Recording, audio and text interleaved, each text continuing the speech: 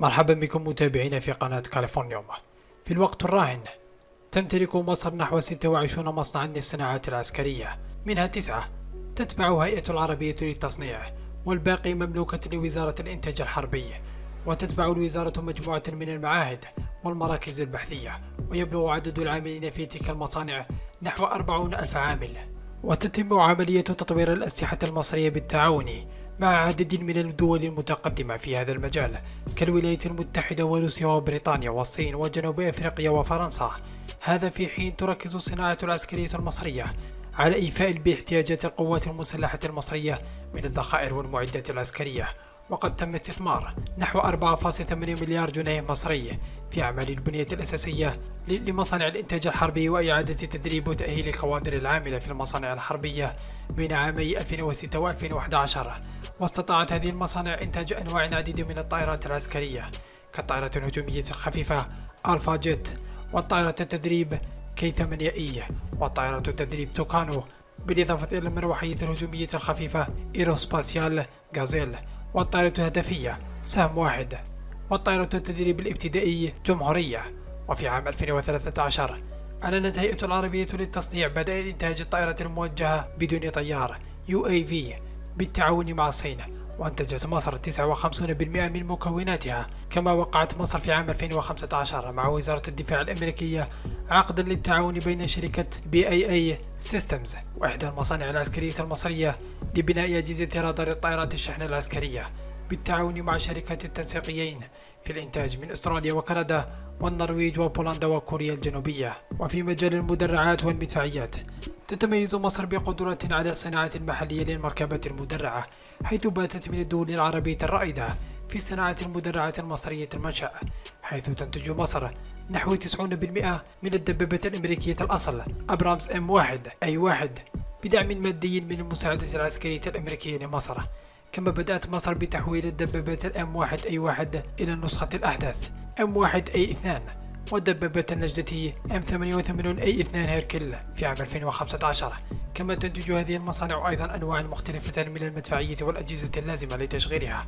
بالإضافة إلى ناقلة الجنود المدرعة فهد 240 والمدرعة القتالية فهد 240 30 والمدرعة قادر والعربة المصفحة مرسيدس جي 320 وسيارة القتال الخفيفة تايجر والمركبة العسكرية جيب تي جي 3 والمركبة العسكرية جي 8 والمدرعة التمساح النسخة الأولية المدرعة تمساح واحد المطورة المدرعة تمساح اثنين المطورة والمدرعة بانثيرا تي 6 ومن جهة أخرى تقوم شركة المعادي بإنتاج الأسلحة الخفيفة مثل النسخة المصرية من بندقية AK-47 وتتولى شركة حلوان للآليات الميكانيكية والصناعات العسكرية المتخصصة. إنتاج مدافع الهاون خاصة بالجيش وقاذفة الصواريخ. وتقوم شركة هيليوبوليس المتخصصة بإنتاج الرؤوس الحربية للصواريخ. كما تنتج شركة بانها أجهزة للاتصال العسكرية.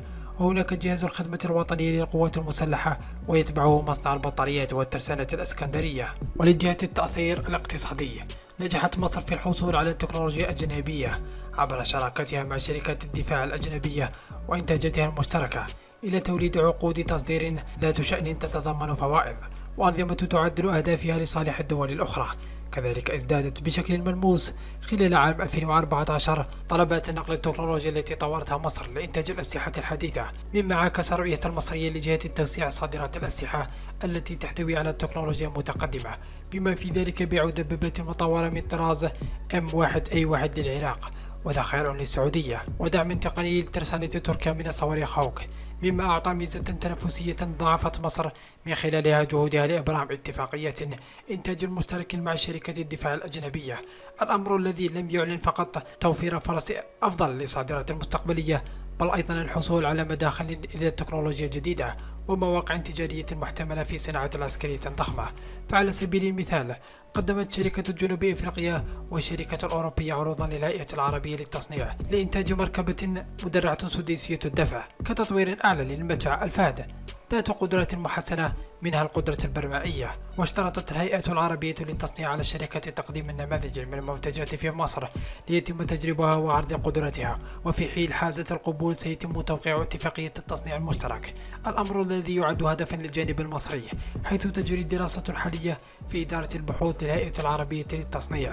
وفي فبراير 2011 عادت البحرية المصرية التفاوض حول عقد بقيمة 13 مليون دولار مع شركة Swift Ship. سبق أن وقع في عام 2008 والنص العقد المعدل الذي زادت كلفته بنحو 20 مليون دولار للسفن الدورية الأربعة نفسها التي وردت في العقد الأصلي على أن يشارك حوض المصري لبناء السفن في تجميع هذه السفن وإنتاجها. وتضمن أيضا نقل التكنولوجيا وبناء منشآت جديدة واستيراد معدات جديدة وعقود طويلة الأمد لقطع الغيار والتصليحات وتدريبا جديدا للعناصر البشرية في سبتمبر 2011 وقعت شركة التركيبية يونكا أونوك جي في. اتفاقا مع مصر لصنع ست سفن مسلحة للتدخل السريع من طراز MRTP 20 في الحوض البحري التابع للقوات المسلحة المصرية في الإسكندرية. وبذلك تزايدت في نهاية المطاف جاذبية الصناعات العسكرية المصرية كشريك لشركات الدفاع الأجنبية. وبذلك تتلخص أهم الصناعات العسكرية المصرية في إنتاج خزانات الأسلحة الخفيفة الذخيرة الثقيلة مدافع الهاون الألغام القنابل اليدوية والصواريخ المضادة للدبابات ومحركات الصواريخ والمسدسات ومن ضمنها الترخيص بصناعة المسدس بيريتا طائرة التدريب النفاثة ألفا جيت ومحركاتها طائرة التدريب المروحية التوربينية توكانو طائرة التدريب الصينية الأصل كي 8 إي وكذلك ناقلة الجند المدرعة معدة الاتصال الأرضية والجوية مروحية غازيل ومحركاتها راجمة الصواريخ الطائرة المقاتلة القاهرة 300 صواريخ آر بي جي. نسخة الفاتح واحد والفاتح اثنان. مقصورة نقل المعدات العسكرية العملاقة أوشكوش. المدفع المقطور عيار 155 مم المدفع الثنائي الفوهة المضاد للطائرات عيار 23 مم مدفع الميدان 130 مم مركبة نقل الجند القتالية المصرية SIF ومدافع الهاوتر 122 وماسورة الدبابة تي 55 والتي 52 والتي 62 Thank you.